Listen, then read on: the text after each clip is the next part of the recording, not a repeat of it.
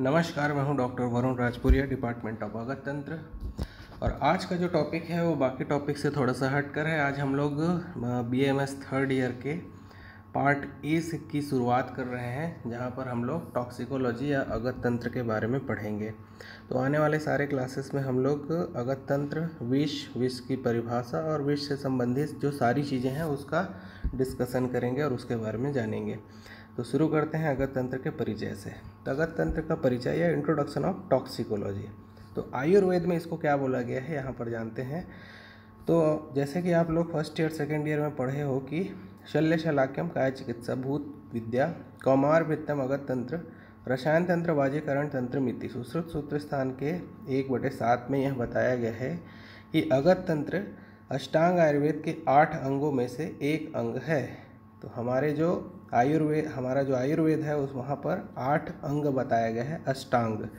तो उस अष्टांग में से एक जो अंग है, वो है अगत तंत्र है ना? चरक आचार्य ने इसको विषगर वैरोधिक प्रशमनन, प्रशमन तथा आचार्य वाघ भट्ट ने दंष्ट चिकित्सा के नाम से इसको संबोधित किया है।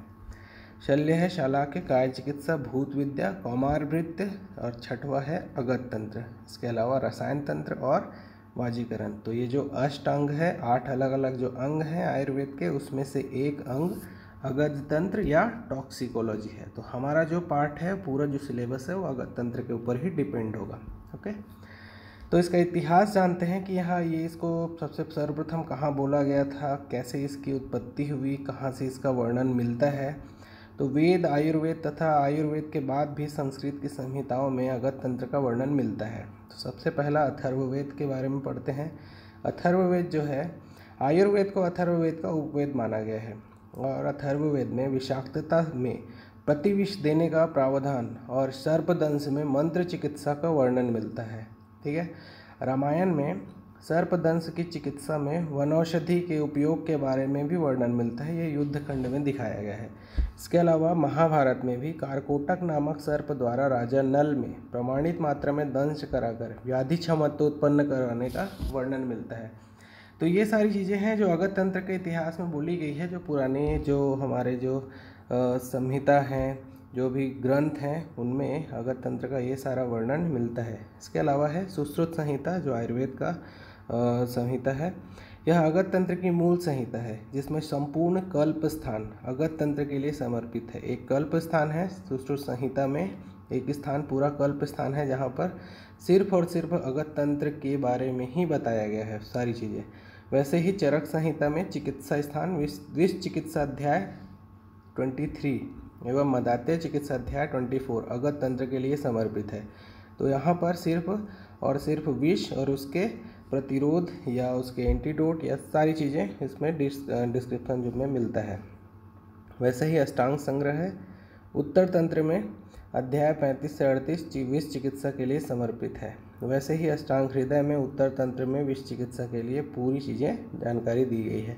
काश्यप संहिता जो है वृद्ध जीवक, इस संहिता में विष चिकित्सा का एक अध्याय समर्पित है। इसके अलावा ही काश्यप संहिता जो गौतम तंत्र है यह संहिता केरलीय परंपरा से जो संपूर्णतः अगत अगत तंत्र के लिए समर्पित है। तो आपने देखा कि बहुत सारे ऐसे संहिता हैं, जैसे, जो पुराने संहिता है और संस्कृत की रचनाएँ हैं, जहाँ पर अगत तंत्र या विश्व से संबंधित बहुत सारी जानकारियाँ अवेलेबल है।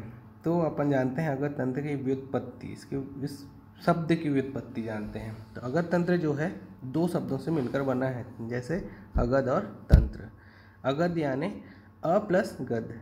अब गद शब्द की व्युत्पत्ति गद धातु में अच प्रत्यय लगने से होती है, ठीक है? और गद में औपसर्ग उपसर्ग लगने से अगध बनता है।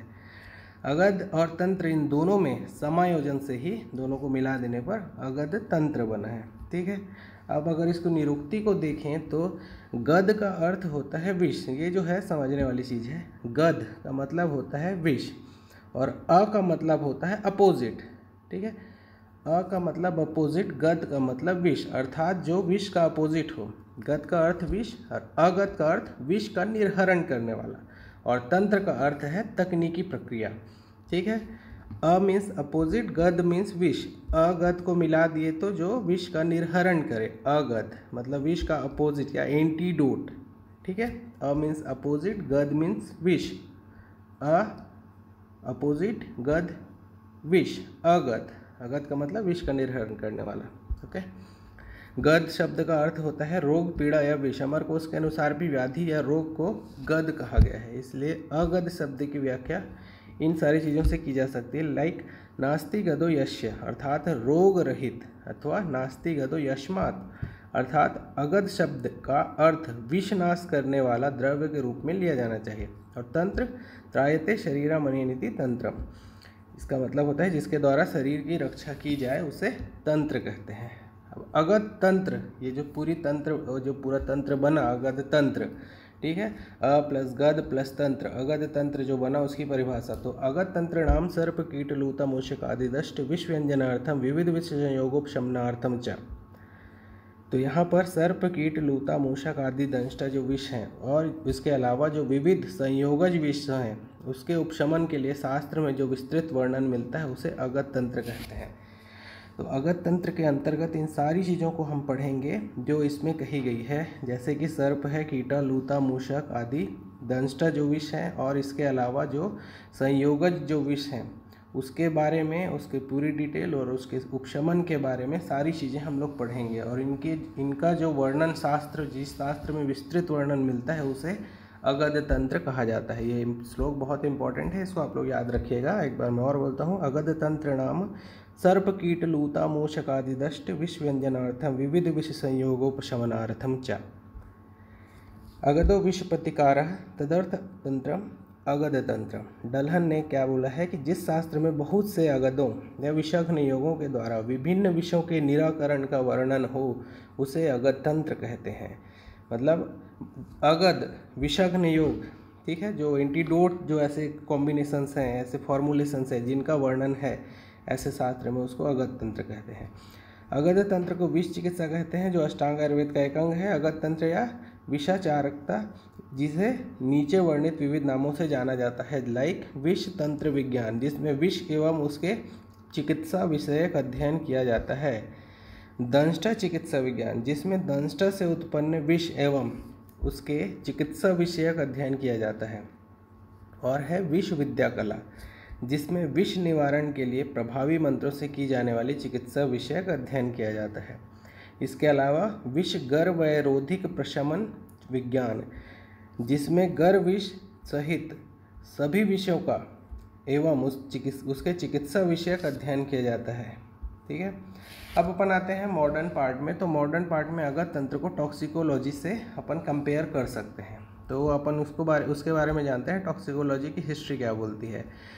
Toxicology must rank as one of the oldest practical sciences because humans from the very beginning needed to avoid the numerous toxic plants and animals in their environment जब शुरुआत ही हुई और जब मनुष्य इस संसार या इस पृथ्वी में आया तो उस समय ही ये जो प्लांट्स थे या एनिमल्स थे जो कि टॉक्सिक थे, जो टॉक्सिक जिनमें टॉक्सिसिटी पाई जाती है तो उनसे बचने के लिए इंसान को ज़रूरत है इनके, इनकी जानकारी के बारे में, जो उसके आसपास, उसके इन्वायरमेंट में अवेलेबल थे। और आज का जो है the presence of toxic agents the presence of toxic agents in animal and plants was known to the Egyptian and Greek civilizations जो इजिप्टियन एंड ग्रीक सिविलाइजेशंस थे, उनके द्वारा जो उनको जानकारी थी। आज के डेट में जो भी चीज़ें अवेलेबल हैं, जो पॉइजनस थिंग्स जो प्लांट में और जो पॉइजनस थिंग्स एनिमल्स में जो अवेलेबल है, जो, उसके बारे में इजिप्टियन एंड ग्रीक सिविलाइजेशंस को उसी समय से मालूम था। The Greek and Roman civilizations knowingly used certain toxic chemicals and extracts for hunting warfare suicide and murder अब आप सोचिए कि उस समय जो रोमन सिविलाइजेशंस थे या ग्रीक सिविलाइजेशंस थे, जो वहाँ उस समय के जो व्यक्ति थे, वो, उनको मालूम था कि कौन सा प्लांट टॉक्सिक है या पॉइजनस है या कौन सा एनिमल पॉइजनस है और उसके जो पॉइजन है उसको ये लोग अपने हंटिंग के लिए शिकार के लिए युद्ध के लिए है ना मरने या मारने के लिए उस समय वो लोग प्रयुक्त करते थे यूज़ करते थे the papyrus Ebers and in Egyptian papyrus dating from about 1500 BC and the um, surviving medical works of Hippocrates. Aristotle and Theophrastus published during the period of 400 to 250 BC. All included some mention of poisons. उस समय इनको poisons की जानकारी थी अब definition of toxicology के अंतर्गत अपन जानते हैं कि the branch of medical science medical science का एक branch which deals with study of toxic substance यहाँ इस शब्द पर ज़ोर देना टॉक्सिक सब्सटेंस ठीक है toxic chemical compound mechanism of action fatal dose fatal period clinical feature management postmortem appearance chemical analysis and medico legal aspect is called as toxicology मैं आपको बहुत सिंपल शब्दों में समझाता हूँ कि टॉक्सिकोलॉजी साइंस का वो ब्रांच है जहाँ पर किसी भी प्रकार का कोई जो टॉक्सिक सब्सटेंस है, ठीक है? कोई भी प्रकार का कोई टॉक्सिक सब्सटेंस है, उसका केमिकल कंपाउंड क्या है? ठीक है? जो भी टॉक्सिक जो सब्सटेंस है, उसका केमिकल कंपाउंड क्या है? उसका मैकेनिज्म ऑफ़ एक्शन क्या होगा? ठीक है? उसके द्वारा मरने के लिए कितनी मात्रा चाहिए रही होगी? लाइक फैटल डोज क्या होगा? और उसके द्वारा मरने के लिए समय कितना चाहिए रहेगा? फैटल पीरियड क्या होगा? उसमें वो जो टॉक्सिक है, उसको बॉडी में आने के बाद उसके क्लिनिकल फीचर्स क्या होंगे? अब उस क्लिनिकल फीचर्स जो भी होंगे, पैदा होंगे, जो उसको मैनेजमेंट कैसे किया जा सकता है? अब मैनेजमेंट भी नहीं हो पाया और मृत्यु हो गई तो उसके, उस टॉक्सिक सब्सटेंस के कारण मृत्यु होने के बाद उसका पोस्टमार्टम अपीयरेंस कैसे मतलब उस पॉइजन से मृत्यु होने के बाद उस इंसान की डेड बॉडी कैसे दिखेगी? और मरने के बाद भी उसमें केमिकल एनालिसिस क्या क्या किए जा सकते हैं? एंड उसका मेडिको लीगल आस्पेक्ट क्या होगा? लाइक सुसाइड होगा ठीक है? एक्सीडेंटल होगा होमिसाइडल होगा, क्या होगा? क्या कैसे सर्कमस्टेंसेस में मरा या मारा जा सकता है उसे? तो ये सारी चीज़ों की जो डिटेल जो स्टडी होती है, वो कहलाती है टॉक्सिकोलॉजी ओके अब scope of toxicology more than seventy percent people belongings to rural India the incidents of snake scorpion bite insect bite etcetera are more common in this area India is an agricultural country. अब देखिए, आप सत्तर प्रतिशत से ज़्यादा जो लोग हैं रूरल इंडिया से हैं, ठीक है? और इसके अलावा यहाँ पर गाँव में रहने वाले लोगों के साथ ये बहुत सारे इंसिडेंट्स होते रहते हैं पॉइजनिंग के। स्नैक है स्कॉर्पियन है इंसेक्ट बाइट है तो स्कोप तो है इसका। आप रूरल एरिया में इसका बहुत अच्छे से प्रैक्टिस कर सकते हैं। इसके अलावा India is an agricultural country green revolution the population is highly expose to poisonous agro chemical and pesticides यहाँ पर सेवेंटी परसेंट जो पीपल है वो गाँव में रहता है और एग्रीकल्चर पे डिपेंड होते हैं। तो और एग्रीकल्चर में आज आज के डेट में इतने ज़्यादा पेस्टिसाइड्स यूज़ किए जाते हैं और उन्हीं पेस्टिसाइड्स को यूज़ करने के कारण से जो लोग उन्हीं से अफेक्टेड होते हैं, उन पेस्टिसाइड से अफेक्ट होते हैं। The economical stress and failure of agriculture has resulted in a rising trend of suicide among the farmers. बहुत सारे फेलियर्स ऐसे होते हैं एग्रीकल्चर करने के दरमियान, जिसके कारण से वो लोग सुसाइड भी करते हैं। And high degree of stress in urban life is prime cause of suicide by taking pesticides pesticides के द्वारा भी सुसाइड करना एक बहुत कॉमन चीज़ है आज के डेट में। Okay okay? हाँ। So the toxicology are divided into many branches like clinical pre clinical forensic occupational environmental बहुत सारा ब्रांच है इसका। अपन वन बाय वन कुछ देखते हैं। तो फ़र्स्ट है क्लिनिकल टॉक्सिकोलॉजी आप ध्यान से पढ़िएगा, उसके वर्ड के, उसके वर्ड से ही सारा चीज़ समझ में आ जाएगा। लाइक क्लिनिकल टॉक्सिकोलॉजी लाइक जो क्लिनिक में काम आए या अपन एक ट्रीटमेंट में काम आए ऐसा सोच सकते हैं। ठीक है? This is concerned with disease and illness associated with short term or long term exposure to toxic chemicals. Its diagnosis and management up to management only. Okay? तो कोई भी टॉक्सिक सब्सटेंस है अगर उसका एक्सपोज़र हमारी बॉडी में हुआ चाहे वो शॉर्ट टर्म में हो या लॉन्ग टर्म में हो तो उस एक्सपोज़र के कारण हमको क्या क्या प्रॉब्लम्स आएँगी उस टॉक्सिक केमिकल के कारण हमको क्या क्या प्रॉब्लम्स आएँगी क्या क्लिनिकल फीचर्स होंगे उसके उसका डायग्नोसिस कैसे किया जाएगा? और अगर डायग्नोसिस हो भी गया, उसके बाद उसका मैनेजमेंट कैसे किया जाएगा? This is called clinical toxicology ठीक है? अब नेक्स्ट आता है फोरेंसिक टॉक्सिकोलॉजी मैनेजमेंट तक चीज़ें खत्म हो गई। अब नेक्स्ट जो होता है forensic toxicology it is a part of toxicology which deals with study of medico legal aspect of poisoning अगर ये सब चीज़ होने के बाद भी उसकी मृत्यु हो गई तो नेक्स्ट जो चीज़ है वो फोरेंसिक टॉक्सिकोलॉजी की बारी आएगी। मरणोपरांत जो भी चीज़ें होंगी उसकी बॉडी में से जो भी चीज़ें निकालना, उसको केमिकल एनालिसिस करना, कौन से सब्सटेंस से मृत्यु हुई है, उस केमिकल कंपाउंड क्या थे, कैसा था, कितने मात्रा में दिया गया था, कौन से वे पे दिया गया था, ये सारी चीज़ें जो होती है वो फॉरेंसिक टॉक्सिकोलॉजी जो है डील करेगी।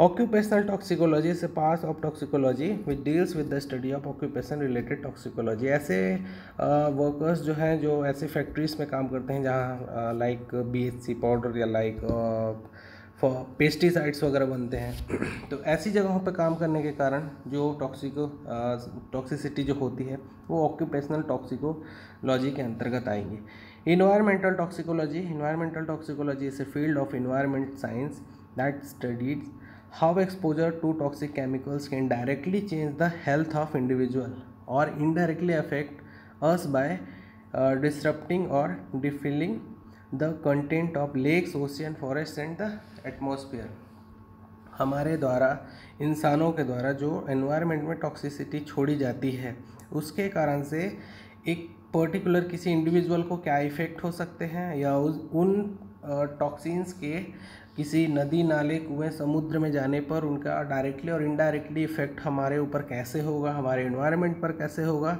इन सारी चीज़ों को जो डील करती है वो होती है इन्वायरमेंटल टॉक्सिकोलॉजी एक नया शब्द है toxinology toxinology is an interdisciplinary and specialist area of toxicology which deals with specifically with naturally occurring uh, toxins their uh, or their modes of action etc naturally occurring toxins जो होती हैं उसके बारे में जो डील करते हैं उसके बारे में जो स्टडी करती है उसको टॉक्सिनोलॉजी बोला जाता है। I think you understand dear okay आज के लिए इतना ही। आगे आने वाले क्लासेस में हम लोग और अच्छे से डिटेल में पढ़ेंगे। विश और उसके जो भी पार्ट्स जो आएँगे उसके बारे में।